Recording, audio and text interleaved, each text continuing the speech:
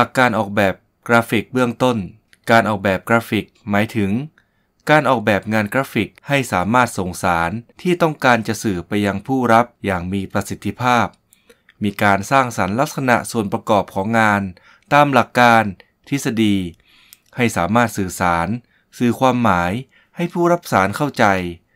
ทั้งยังสามารถดึงดูดความสนใจ ด้วยการใช้วิธีการออกแบบ การจัดวางรูป ตัวอักษร ถ้อยคำโฆษณา เครื่องหมาย และสัญญลักษณ์ โดยการใช้หลักศิลปะการออกแบบ การจัดองค์ประกอบทางศิลปะ การจัดภาพให้เกิดการประสานกลมกลืนกันอย่างสวยงาม ตามวัตถุประสงค์ที่ได้วางไว้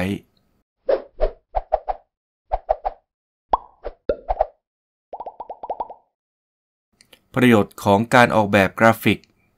เพื่อบอกเล่าเรื่องราวหรือรายละเอียดต่างๆ งานกราฟิกทำหน้าที่บอกเล่าเรื่องราวที่แจ้งข่าวสาร เหตุการณ์ สิ่งต่างๆ ให้ผู้คนได้รับรู้ เช่น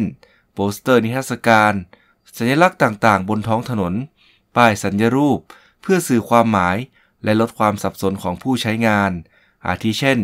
ป้ายจราจร ป้ายโฆษณา ป้ายสัญลักษณ์ต่าง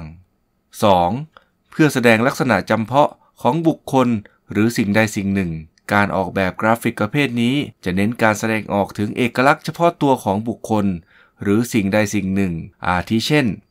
การออกแบบโปสเตอร์งานคอนเสิร์ตที่แสดงถึงลักษณะแนวเพลง ลักษณะของศิลปินที่จะมาแสดง การออกแบบปกหนังสือ ที่แสดงถึงประเภทของหนังสือ การออกแบบลวดลายลงบนผลิตภัณฑ์ เพื่อแสดงออกถึงเอกลักษณ์ประจำท้องถิ่น 3. ใช้เพื่อการโน้มน้าวหรือการชักจูง การออกแบบกราฟิกประเภทนี้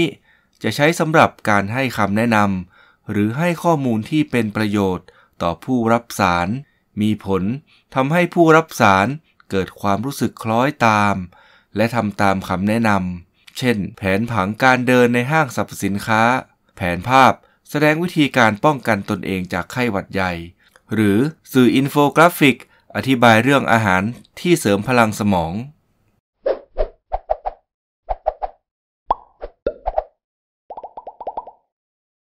หลักการออกแบบ การออกแบบที่ดีนั้น จะต้องมีหลักในการออกแบบคือ ต้องมีวัตถุประสงค์ในการออกแบบ ว่าเราจะออกแบบเพื่ออะไร ใช้ประโยชน์อย่างไร ต้องมีกลุ่มเป้าหมาย ว่าต้องการออกแบบเพื่อใคร เพศ วัย ลักษณะเฉพาะของกลุ่มเป้าหมายเป็นอย่างไร มีวิธีการสื่อความหมายได้อย่างไร จึงจะเหมาะสมและใช้สื่อประเภทใด เป็นตัวกลางในการนำเสนอความคิด และสารจากผู้ส่งไปถึงผู้รับ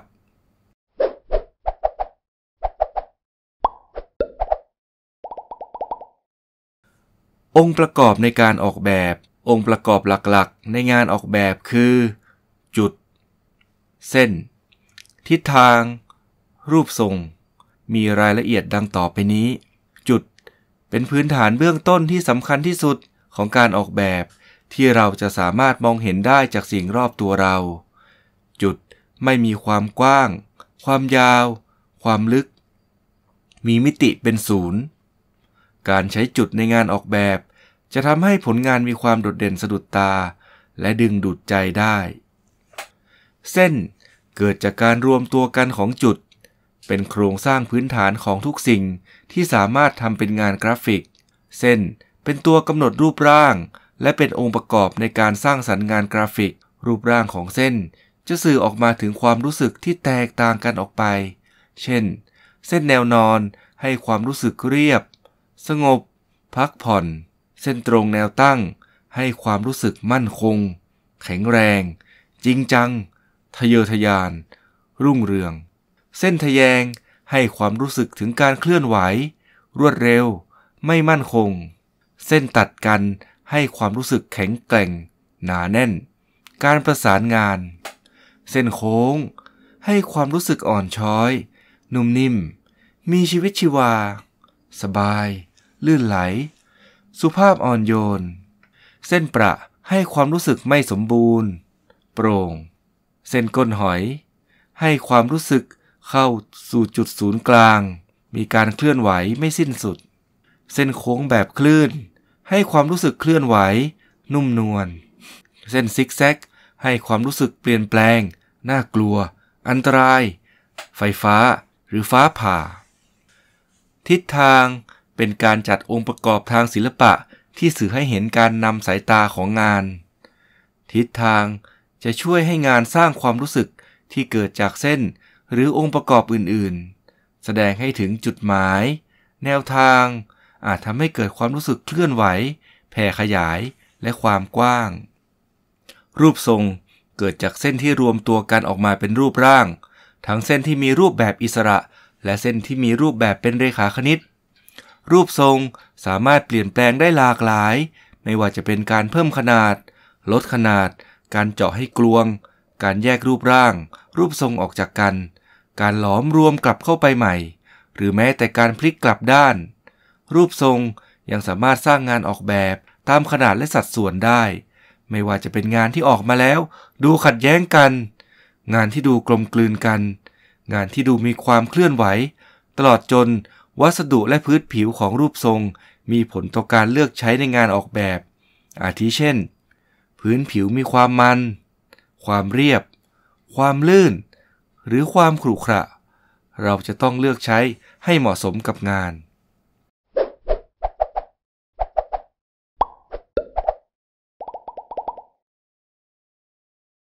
การจัดองค์ประกอบทางศิลปะ 1. ความสมดุล หมายถึงความพอดี ลงตัว มีความเท่ากันเสมอกัน มีน้ำหนักที่ประสานกันของการจัดวางองค์ประกอบ โดยมีแกนสมมุติทำหน้าที่แบ่งแยกภาพ ซ้าย ขวา บน ล่าง อย่างกลมกลืน อาจเป็นความสมดุลแบบเท่ากัน สมมาตร หรือสมดุลแบบไม่เท่ากัน อสมมาตร 2. จุดเด่น คือจุดที่แตกต่างจากองค์ประกอบโดยรวมทำให้เกิดความเด่น อาจจะเป็นรูปทรง รูปร่าง ขนาด พื้นผิว หรือแม้แต่การจัดวางองค์ประกอบ จุดเด่นทำให้งานมีความน่าสนใจมากขึ้น 3. เอกภาพ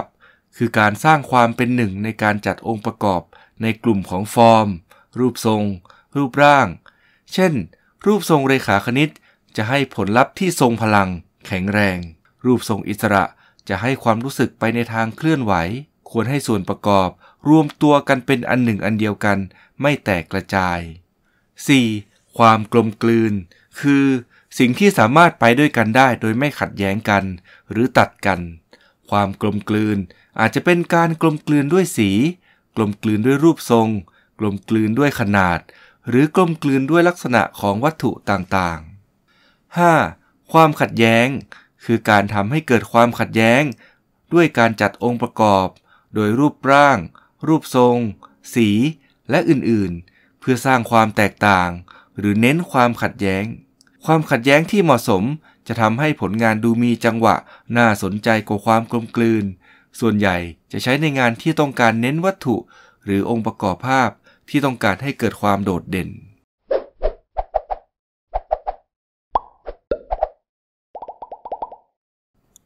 6. จังหวะ คือการซ้ำของภาพทำให้เกิดความเคลื่อนไหว จังหวะสามารถทำได้โดยการใช้จุด เส้น สี รูปร่าง รูปทรง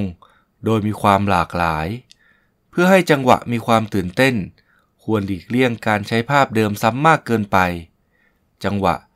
ช่วยให้งานออกแบบมีความน่าสนใจ และสามารถทำซ้ำได้อย่างรวดเร็ว 7. ความง่าย คือการตัดทอนรูปร่างรูปทรงที่ซับซ้อนออก ให้เหลือรูปทรงที่เรียบง่าย ความง่ายเป็นที่นิยมในงานออกแบบยุคปัจจุบัน ซึ่งเน้นพื้นที่ว่าง เป็นความงามที่ช่วยส่งเสริมให้เกิดความน่าสนใจของวัตถุที่ปรากฏอยู่ในภาพ 8. ความลึก เป็นองค์ประกอบของภาพที่มีลักษณะของเส้นนำสายตา ส่วนใหญ่จะใช้ในงานด้านสถาปัตยกรรม หรืองานออกแบบ ที่ต้องการการลวงตาให้เป็นภาพสามมิติ